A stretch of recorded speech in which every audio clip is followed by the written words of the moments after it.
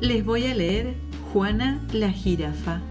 El texto lo escribió Lucy Papineau y las ilustraciones las hizo Marisol Sarracin.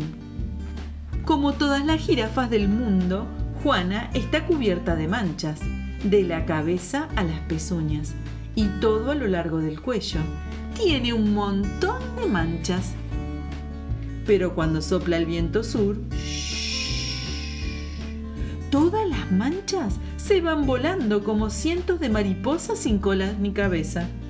Por eso Juana es la única jirafa del mundo que vive en una cueva. Por suerte, en esta época, en la tierra donde viven las jirafas, el viento del sur siempre está durmiendo. Pero, por casualidad, un día se despertó y todas las manchas de Juana comenzaron a gritar, ¡Sálvese quien pueda! ¡Aquí viene el viento sur!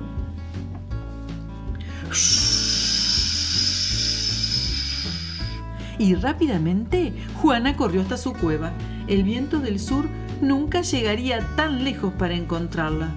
¡Ah, la jirafa y sus manchas suspiraron al mismo tiempo. Eso estuvo cerca. Las manchas aliviadas se echaron a reír a carcajadas. Rieron con tantas ganas que Juana no pudo oír el sonido del viento que aún soplaba y soplaba. Entonces, ahora que todo está bien, pensó la jirafa siempre lista para comer, mi próxima parada será mi campo favorito de sandías. Y... El viento del sur se llevó todas las manchas. ¡No! se lamentó Juana. Lloró tan fuerte que el viento aturdido dejó de soplar al instante. Y ¡puf! Las manchas se desparramaron aquí y allá por toda la tierra de las jirafas y más allá. Juana estaba muy enojada. No me rendiré tan fácilmente, dijo. Y si no lo hago, nunca jamás volveré a tocar una hermosa sandía redonda. La pobre Juana entró en la selva, bien bien adentro.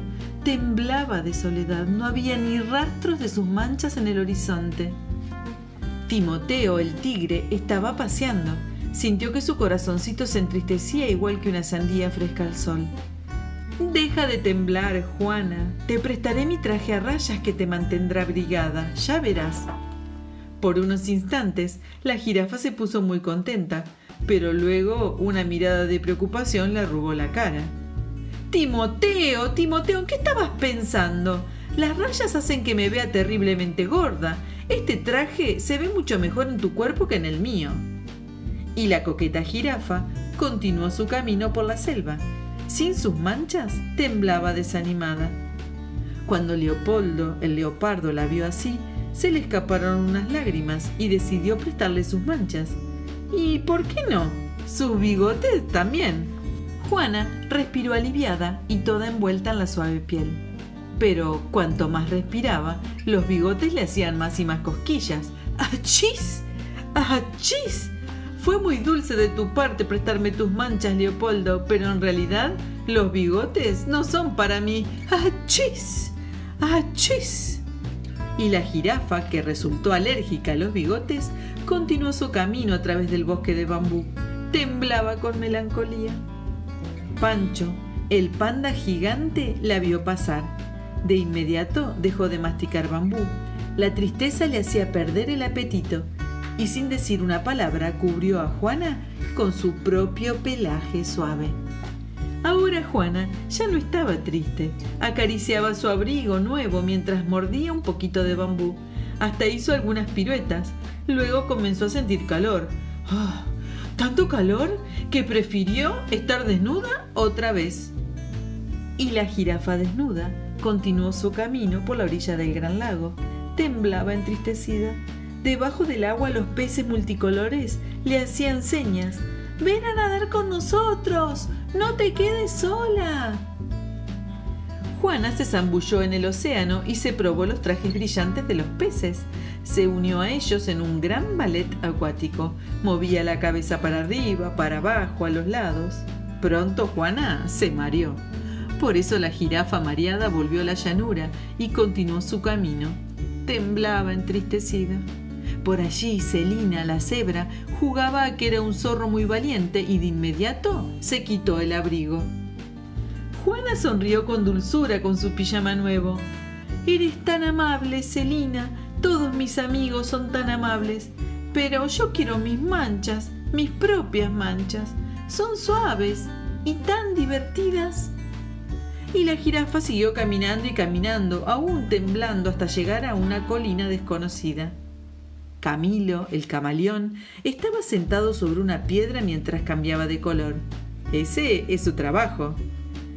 Aquí estás. Estaba esperándote, Juana. Ay, no. No me digas que también vas a prestarme tu traje, dijo Juana. Mi cabeza va a convertirse en una sandía si cambio de color otra vez. Nada de eso, querida, nada de eso. Mira lo que tengo para regalarte. ¡Ay, una de mis manchas! exclamó Juana. Mi propia mancha, suave, linda y divertida. ¡Viva! ¡Viva! gritó la mancha. ¡Es mi jirafa! Y Juana, la jirafa, con ojos brillosos, colocó la mancha donde pertenecía. A lo lejos oyó las voces de todos sus amigos como en un sueño. ¡Ey, Juana! ¿Dónde estás? ¡Juana! ¡Juana! ¡Encontramos tus manchas! Las muy traviesas estaban escondidas en nuestros abrigos. Ahora que todo volvió a la normalidad, bueno, casi todo, hay una cosa que Juana quería. Invitó a todos sus amigos a un gran banquete de sandías. Ojalá que el viento sur prefiera los pepinos. Y colorín colorado, colorado, colorín, Juana la jirafa, de Lucy Papineau y de Marisol Sarracin llegó a su fin.